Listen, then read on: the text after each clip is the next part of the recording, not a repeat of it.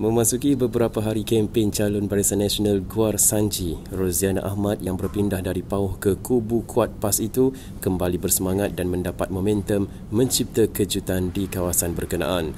Selain mendapat sokongan kuat dari cawangan-cawangan AMNO di situ, Roziana yang lebih mesra disapa Kak Ji turut mendapat penerimaan baik dari pengundi menerusi kempen dari rumah ke rumah. Katanya beliau meneruskan perjuangan membantu parti kembali merampas kerusi Dun Guar Sanji dalam pilihan raya kali ini.